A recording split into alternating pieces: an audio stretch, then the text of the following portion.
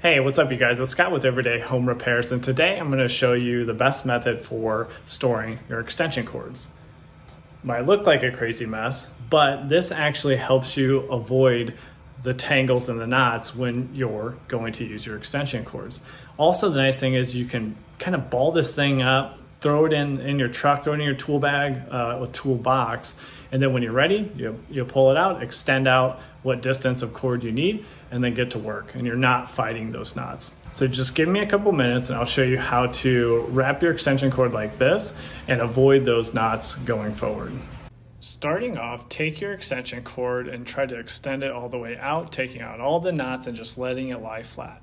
If it doesn't lie flat and you have a concrete or blacktop drive like, like this, you can let it lay there and hopefully the concrete is warm and it'll help it relax out. Then take both ends together and go along the cord to find the middle. Now, a pro tip here, so you don't have to do that every time, is to take a permanent marker and mark that location so you always know right where the middle of your extension cord is.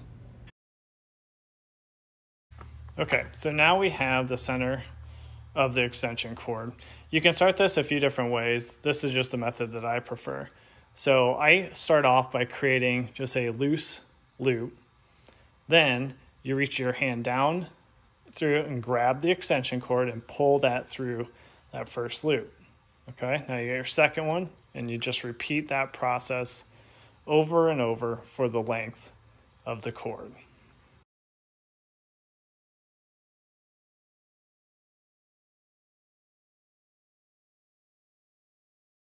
Then once you get to the end for that last loop, I will just take the free ends and pass those through and then that will complete the daisy chain. So now we have our full daisy chain. This is a 50 foot extension cord. Now to extend it out, all we have to do is to undo that last little loop and then just pull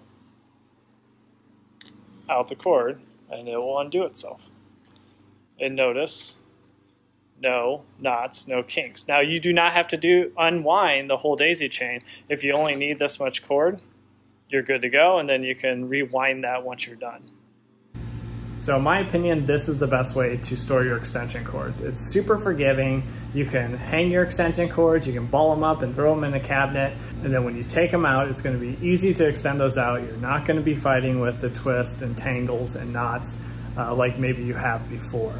So if you haven't already, don't forget to give us a like. We always appreciate that. And subscribe to our channel because we have new videos coming out made for new homeowners or maybe just somebody new to DIY. We really try to break everything down step by step and we don't use a bunch of fancy tools because we know most of you guys are not gonna have those around the house and you still need to get the job done. So we'll catch you on the next one and take care.